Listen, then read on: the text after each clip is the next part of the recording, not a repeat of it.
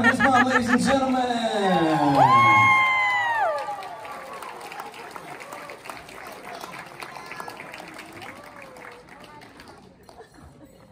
Well, welcome everybody here. Salads are at your table, so feel free to eat. Um,